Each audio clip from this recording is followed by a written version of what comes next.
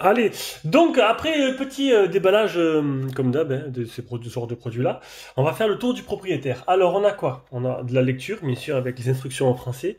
On a la serrure, donc on va s'intéresser à la serrure après. On a trois petites cartes riff et on a des petites vis de rechange et tout ce qu'il faut pour démonter tout simplement la serrure. Donc c'est une serrure connectée, vous aurez compris. Donc on va s'intéresser à la serrure on va la désosser. on va prendre hop, la petite clé là.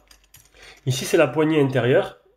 Alors, poignée intérieure, tu dévisses, tu tires, et en fait, ça te permet de régler, en fait, suivant l'épaisseur de ta porte.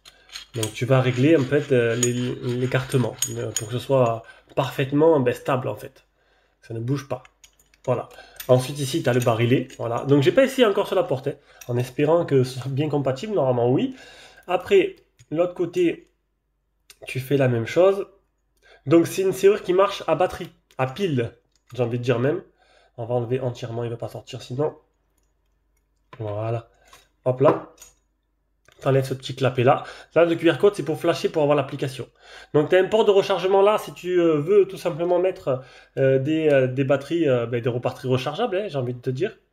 Et en fait, ça te permettra, si en cas tu tombes en rate de batterie, d'y brancher aussi une, une banque externe, une banque de puissance, une, batterie externe tout simplement, histoire de ne pas rester bloqué dehors. Voilà, tu branches la, la, batterie externe dessus et ça te permet de débrancher.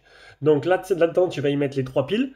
Donc oui, ça marche à pile. C'est euh, un, peu, un peu spécial, tu vas me dire, parce que bon, les piles, bah, ça, se vide. Hein. Bien sûr, et quand tu as plus de pile, tu fais comment? Ben Justement, je viens de te dire, tu peux brancher une batterie externe en cas de dernier secours. Ou sinon, ben, faudrait que tu aies un magasin ouvert, donc suivant l'heure, que tu aies toujours des piles dans ta sacoche.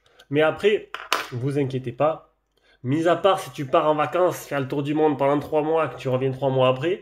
Donc maintenant, le truc de sécurité, c'est de se dire, bon, tu vois, euh, bon, est-ce qu'il n'y a pas des gens qui vont s'amuser à ouvrir tout simplement pour euh, extraire les piles ou pour t'embêter, quoi, tout simplement.